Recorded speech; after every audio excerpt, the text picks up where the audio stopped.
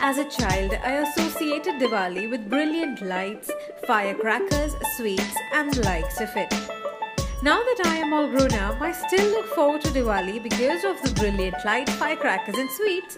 But I have yet another thing to love about it, and that's clothes and dressing up.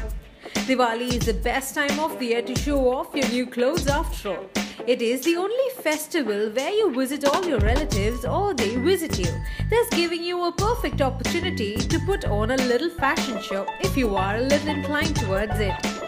Then let's get started. Go ethnic with a heavily embroidered border sari. This look will give you the richness and the festive fervor, and yet it will be contemporary. Adding golden earrings, a ting of red lipstick, and a maang tika completes your look. If you are not a fan of sari, you can opt for the latest in thing, which is the floor length dress. Yes, you may ditch the dupatta and go Indo-Western with a full floor length dress with heavy work only around the border and sleeves around the neck too.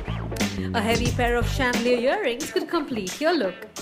Another thing you could do is go for a lovely kurta paired with a flared palazzo pant. Leggings and salwars are the other option. However, this year it's time to rock some bright colored palazzos. Mm. Round off the look with minimalistic jewelry and you are set for the night. The brand new poncho style gown is also the latest in thing. And if you wish to head out in style for the evening party, this is something you must consider. This would save the grace for you as you would look totally different yet in style. The fashion trend of an anarkali suit is totally denying to fade out. Dressing up even with a simple anarkali suit give a rich party look and perhaps this is the only reason for its continuous high-ranked existence in the market. You can select upon many kinds of anarkali suits, the one with simple flare or the one with huge number of kalis. You can get a variety of design and patterns in it and currently ranking 1 in floor length gown style with anarkali suit.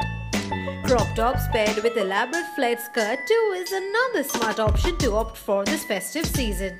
Apart from these, you could also color coordinate and mix match your old outfits to give them a brand new look. So don't forget to step out in style this Diwali.